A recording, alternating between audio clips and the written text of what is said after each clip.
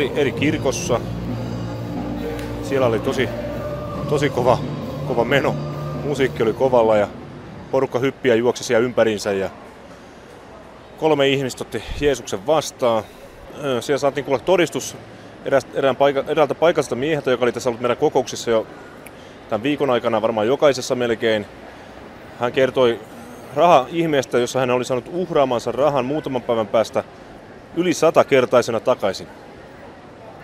Joo, ja rukouspalvelussa tämmöinen aivoinkvartin tai joku tämmöisen vastaavan saanut mies, joka ei ollut kävellyt moneen vuoteen, alkoi kävelemään siinä loppuvaiheessa ja kaikki taputtivat ja huusivat iloisesti.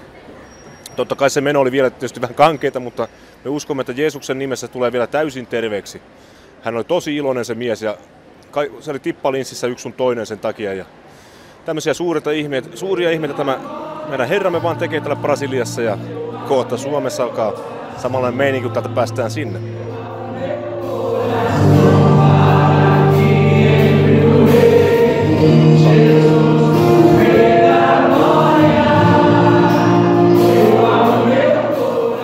tiedon sanan henkilöstä, jolla on kropassaan todennäköisesti jaloissa kramppeja yleensä keskellä yötä.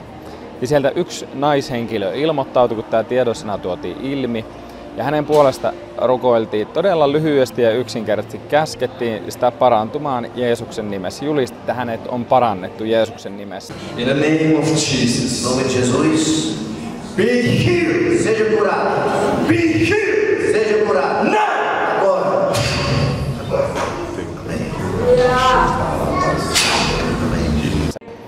Ja pyhä henki kosketti häntä ja hän kaatui sinne maahan ja hän jäi joksikin aikaa sinne makaamaan. Rukouspalvelu jatkui siinä ja hetken päästä sitten hänet nostettiin sieltä ylös ja kysyttiin, että mitä tapahtui. Ja tämä nainen kertoi, että hänellä on ollut näitä kramppeja samana päivänäkin ja ne herkästi tuli koko ajan ne krampit päälle. Ja sitten se, mistä ne krampit johtui, niin johtui hänen ää, selästä ja selässä olevasta vissiin skolioosista, näin ymmärsin.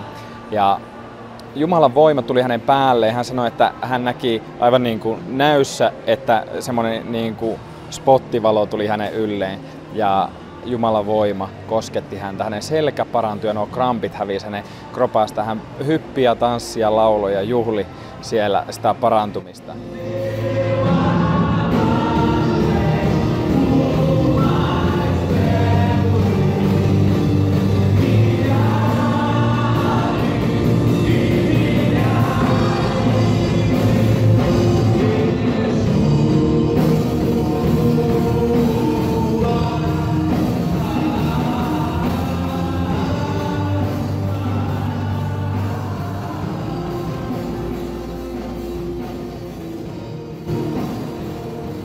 Tämä päivä on ollutkin semmoista rentoutumista enemmänkin. Ei ollut niin hirveätä kiirettä ollut. Oli tämmöinen rukoussessio tässä näin, jossa rukoiltiin kaikkien puolesta ja itsekin sai kuulla tämmöistä vahvistusta öö, aikaisemmille profetioille ja täytyy sanoa, että se oli todella koskettavaa ja moni muukin oli, tuli kosketetuksi tosiaan näiden voimallisten profetioiden takia, mitä siellä yhdessä sun toiselle kerrottiin. Ja kyllä se vaan, Herra toimii todella väkevästi kyllä, että mä niin toivon, että tämä saadaan tämä tuli tuotua sinne Suomen maahankin ja saadaan ihmiset yhtä iloiseksi kuin täälläkin. Täällä on, kun, kun tämä Joonas huutelee kaikille, koska hän on, hänellä on hyvä kielipää, niin hän on opettanut portugaliakin. Hän huutelee aina täällä portugalin kieleltä Jumalan siunausta ja kaikkea tällä, niin ihmiset vastelevat niin iloisen näköisenä, että ei voi niinku uskoa todeksi. Menepäs kokeilemaan tätä Suomessa, niin sieltä kun happamia naamoja vaan, mutta, mutta me julistamme, että se sama meininki ja ilmapiiri tulee Suomeen vielä. Jeesuksen väkevässä nimessä. Tämän jälkeen me kävimme sitten tuolla ostoskeskuksessa, kun ensimmäiset vietiin lentokentälle ennen sitä ja meillä oli aikaa siellä pyöriä ja siinä sitten ostin vähän pieniä lahjoja kotiin tuomiseksi. Tänään nyt ollaan lähetty tälle kotimatkalle jo. Meillä tosin tämä lähtö on viimeisenä täällä. Kaikki muut pastorit on jo lähtenyt ja tiimiläiset on lähtenyt jo kotia päin. Ilman kommelluksia ei ole kotimatka ihan mennyt, mutta me, meilläkin tässä pieni kommellus oli yllättäen Estaviisumin numero ei näkynytkään passista tai voimassaolopäivä ei näkynyt passia lukemalla niin kuin se oli Helsingissä näkynyt normaalisti. Ja sitten ruvettiin etsiä, että mistä me se numero saadaan. Ja sitten ei mennyt nettitoimia, että päästään katsoa se, se päivämäärä siinä. Ja sitten kuitenkin kävi niin, että toinen virkailija sitten kokeili sitä ja hänen koneensa toimi, eli se olikin tietotekninen ongelma, ongelma että miksi ei lukenut sitä ja löytänyt sitä päivämäärää. Samaan aikaan mä sain netin toimimaan ja myöskin pystyin näyttää sieltä, että Esta on kunnossa ja kaikki siinä, siinä mielessä ok. No niin, ja sitten kun tästä päästään lähtemään kohti USAta ja Miamia, niin on tarkoitus mennä Miami Beachille, sitten kun meillä on yhdeksän tuntia aikaa kerran seuraavaan lennon lähtöön. Ja jos luo ja suo, niin me siellä käydään. Tässä kohtaa haluan sanoa kaikille esirukoilijoille suuren kiitoksen. Ilman esirukoilijoita tästä matkasta ei olisi tullut mitään. Meillä on ollut ihan ihmeellinen tämä reissu. Ei ollut ristiriitoja kenenkään kanssa, ei mitään konflikteja, vaan niin kuin valtava yhteys ja, ja niin kuin aivan käsittämätön siunaus niin kuin koko ajan. Ollaan nähty tosi paljon ihmeitä, parantumisia, vapautumisia, ää, pelastumisia. Ollaan saatu lohduttaa surevia, ää, ollaan saatu jakaa ruokaa tarvitseville, jakaa leluja lapsille, tuottaa iloa, siis aivan mahtavia juttuja ollaan saatu. Katso, mitä palveluksen työ parhaillaan on. Kiitos siitä pastori Hermes Falkkaa juniorille ja hänen tiimille, joka on tämän kaiken organisoinut. On vähän niin kuin viimeinen vihellys meneillään ja reissun kruunu. Olemme nimittäin Miami Beachillä. Käytiin Järnon kanssa tuossa uimassa äsken ja noin kuuden aikaan paikallista aikaa, kun aurinko rupesi nousee. Ja tämä on todella upea paikka ja aina ollut unelmana, että pääsi käymään täällä USAssa ja nyt herra toteutti senkin tässä samalla. Se on todella upea reissu muutenkin. Ja paljon ollaan nähty niitä ihmeitä ja merkkejä niin sanotusti, niin kuin Raamattukin sanoi, että uskovaisia ne seuraa. Ja,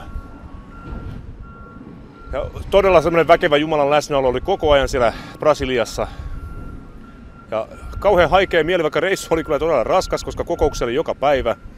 Mutta silti se Herran läsnäolo oli jotenkin koko ajan siinä meidän hotellihuoneessakin, kun oltiin Joonaksen ja Jarnon kanssa. Ja sitten näissä kokouksissa niin, niin väkevästi, että se tuntuuko se eri ihminen ollut koko ajan. Että kiitos Herralle ja pakko tulla uudelleen, jos on vaan mahdollista. Äsken käytiin aamupalalla vielä amerikkalaiseen tyyliin syömässä pannukakkuja ja monet unelmat saa toteutua ja täällä on unelmoinut, että pääsisi Amerikassa joskus käymään ja nyt järjestyi niin, että meillä on tässä ollut nämä muutamat tunnit aikaa, aikaa täällä käydä ja kokea tätä ilmapiiriä ja nähdä näitä huikeita maisemia täällä. Tästä matka jatkuu nyt sitten seuraavaksi New Yorkiin ja New Yorkista tosi nopea vaihto meillä on tonne Helsinkiin ja sitten oltaisiin tutulla Finnairin koneella menossa kotimaahan. Kotimatka Brasiliasta jatkui sitten oma, omalla tavallaan haikeissa tunnelmissa, mutta, mutta kuitenkin ihan täynnä voitelua ja uskoa siitä, että, että Jumala tosiaan toimii meidänkin kautta.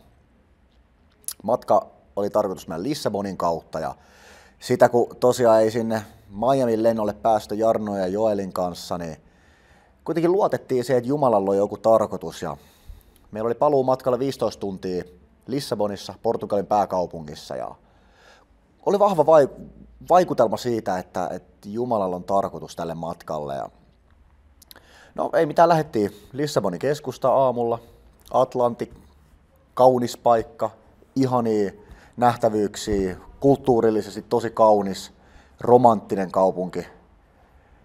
No, sitten alkoi tulee semmoinen fiilis, että nyt on saatava kahvia.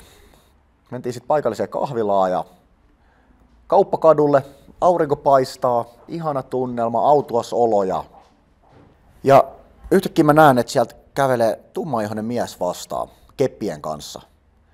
Ilman mitään niin kuin ajatuksia, niin pyhä henki sanoo mulle, että rukoile ton puolesta. Ja samaan aikaan, kun se ajatus tulee, niin ennen kuin mä kerkesin edes istumaan aloilleni siihen tuolille, niin mä nousin ylös ja saman tein menin tämän miehen luokseen, että moi, että hei, mikä sulla on tuossa polves vikana ja, tai jalassa vikana. No sitten tämä mies kertoi, että hän oli senegalilainen ja hän oli sodassa vaurioitunut ja polvi, polve oli tullut sitten pysyvä vamma ja hän ei pystynyt kävelemään sille. Mä voinko mä rukoilla, että Jeesus aikoo parantaa sen nyt. Ja se oli, että no, voit rukoilla. Ja se oli lähes kävelemään. Mä olin, että ei, ei, ei, mä rukoilen niin kuin nyt. Se pysähtyi ja mä rukoilin ja käskin sitä paranemaan. Jeesuksen nimessä nyt. Ja siinä oli semmoinen uskovarmuus kaiken sen jälkeen, mitä oli nähnyt siellä Brasiliassa. Sitten mä sanoin sille, että hei, et kokeile, et ota noin kepit pois ja kävele ilman keppejä. No tämä kaveri alkoi kävelemään siitä sit ilman keppejä. Ja kaikki jäi vähän niin kuin hämilleen, että et, et mitä tässä niin kuin tapahtuu. Ja sitten mä kysyttiin, että onko se niin kuin parempi. Se oli, joo joo, on, on parempi. Mä okei, okay, sinne se lähti. No ei sen kummemmin. Mä menin takas kahvilaan. Maksettiin meidän ostokset siinä, tultiin ulos, lähdetään kävelemään, kun yhtäkkiä siellä kadun toisella puolella, kauppakadun toisella puolella, nainen huutaa mulle, hei, I need your hands. Sanoin, että hei, mä tarviin sun käsiä. Mä sanoin, että no, tota, kyllähän mulla tässä niinku hauista löytyy, että, että kyllä mä voin sua niinku auttaa, että mitä sä tarvit. Ja tota, sanoin, että hei, että mä näin mitä sä teit ton miehen puolesta, että mä seurasin äsken, kun se mies lähti tonne, ja se meni tuon kadun yli, niin se otti sauvat kainaloon, ja lähti kävelemään ilman. Että se parani ihan täysin. Ja mä näin sen, mä seurasin sitä ja mä todistin sen. Mä olin, wow. Me ollaan nähty nyt omin silmin, että miten tämä moninkertaistaa Jeesuksen ja Jumalan todellisuutta.